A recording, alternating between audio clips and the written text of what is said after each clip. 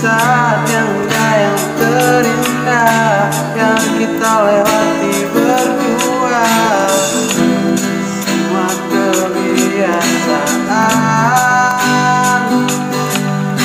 yang kita lalui berdua ini jadi kuing